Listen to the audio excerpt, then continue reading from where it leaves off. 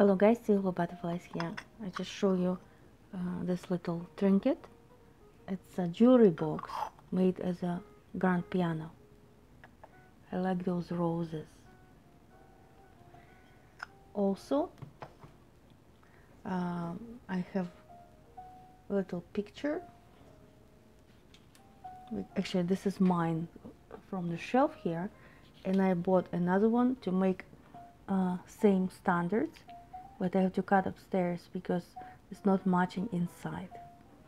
So this is a little purchases and also one more piano in my collection of pianos.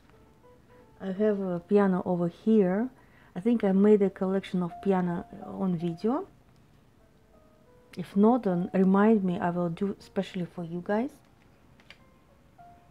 So I smell today two perfumes. I should never do that uh, because they're totally from different operas, I would say. This one is uh, La Perla eau de Parfum. And this one is uh, Mixed Emotion Byredo. I applied this one, uh, I actually made review way back and I decided to refresh in mind. And actually it's totally different vibe because in uh, end of uh, winter it seemed to be craving for. But now it's just not started yet. It's not even a snow. And I smell it. It's like a lily of the valley. Is not matching in almost December. It's like it's weird. But when I apply this mixed emotions of Byredo, it's almost rejected me.